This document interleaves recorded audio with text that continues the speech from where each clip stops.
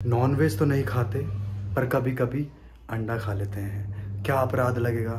जी हाँ अपराध नहीं महा अपराध लगेगा।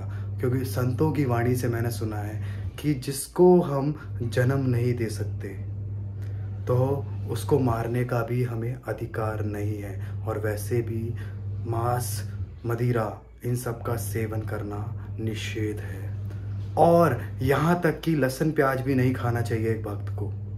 तो नॉनवेज खाना तो बहुत दूर की बात है। तो ये महापाप है। हम किसी को पैदा होने से पहले ही खा ले रहे हैं। जितने भी लोग पूछते हैं कि नॉनवेज नहीं खाते पर एग खा लेते हैं तो ये अपराध नहीं महा अपराध में गिना जाता है। तो इसको कम कैसे किया जाएगा? देखिए धीरे धीरे ही हर चीज़ होती है। तो हमें क्या करना पड़ेगा? हमें नाम जप करना पड़ेगा। नाम का सहारा नहीं लेना पड़ेगा। हमें हरे कृष्णा महामंत्र का जाप करना पड़ेगा, या जिस भी नाम में आपकी रुचि है, वो नाम जप करना पड़ेगा। तब जाके धीरे धीरे धीरे धीरे जब प्रगति होगी, भगवान से प्रेम होगा तो धीरे धीरे हमारी सारी चीज़ें छूट जाएगी।